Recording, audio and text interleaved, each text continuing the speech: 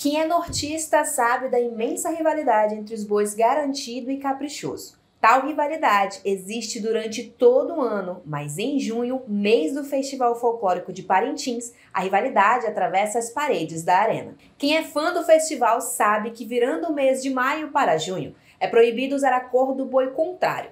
A rivalidade é tanta que, pensando nisso, alunos da escola Adalberto Vale e o projeto chamado Muita Além da Influência, fazendo a propaganda, idealizaram uma ideia e se uniram ao Mirantes Burger para lançar hambúrgueres temáticos em homenagem aos bois do festival. Nós fomos procurados pelos alunos do, da escola Adalberto Vale, com o projeto do professor Renan Dutra, muito além da influência, o nome do projeto, muito além da influência, fazendo propaganda. Então, eles, eles vieram com uma ideia de criar uma, uma propaganda para o estabelecimento.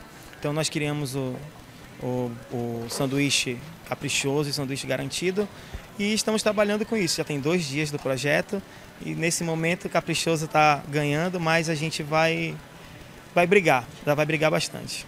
O local está totalmente no clima do festival, com direito ao seu próprio mural, e os hambúrgueres de cada cor levam o tema dos Bumbais de 2024, Triunfo Azul e Segredos do Coração.